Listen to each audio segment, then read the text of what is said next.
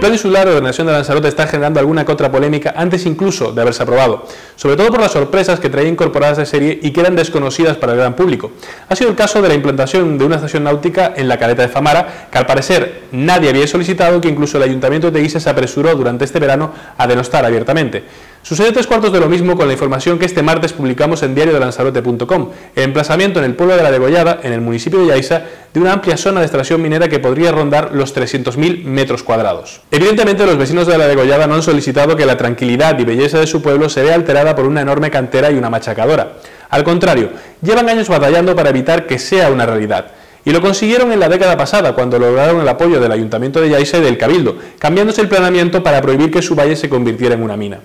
El presidente Pedro Sanginés ha insistido en que el nuevo plan insular iba a ser transparente y consensuado, pero lo cierto es que nadie ha explicado por qué el Cabildo dijo hace una década que no y ahora que sí, o sin tan lejos, por qué en el avance del plan insular no venía la zona minera de la degollada y ahora parece perfectamente delimitada.